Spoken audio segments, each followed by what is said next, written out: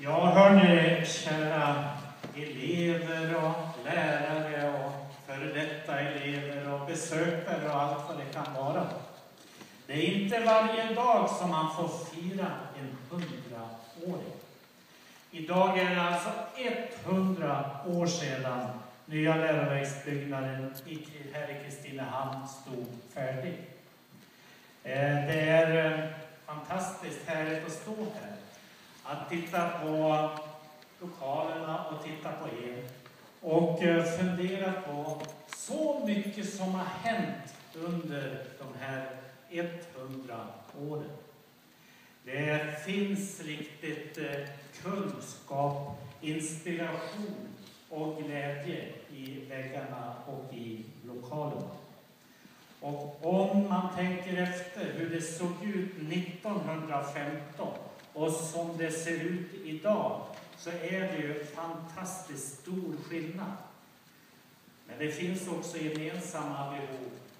Skillnader, eh, som vi hörde, det var eh, krigstider, krigtider, det var fattigdom, det var lågutbildade människor. Och eh, idag så har vi många, de flesta, som har bra utbildning. Och eh, däremot ser man behovet är detsamma utav att vi hela tiden har att lära oss.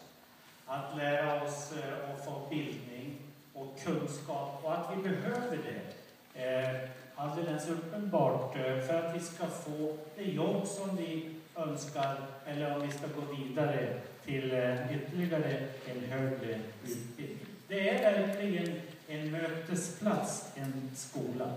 Eh, och det är underbart att eh, den sprider då kunskap, vi lär känna varandra, vi utvecklar oss och eh, för hela byn, för hela kommunen, för hela samhället så är ju en skola eh, väldigt eh, viktig.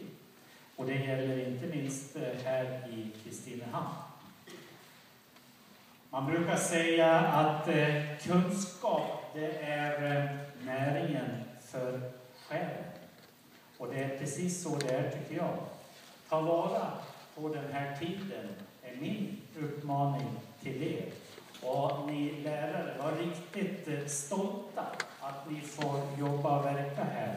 Ni ger både elever och lärare näring till själen.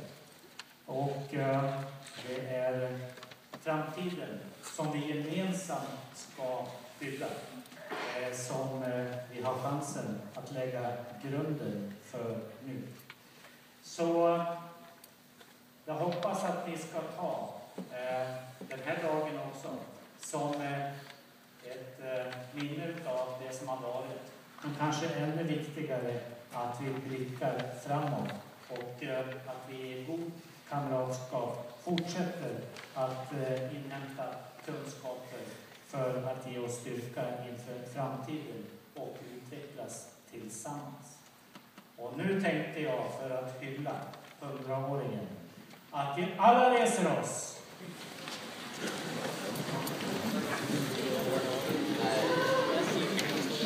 Och så föreslår jag som en hyllning till eh, hundraåringen, må hon leva i ytterligare minst 100 år. Ett fyrfaldigt leve hipp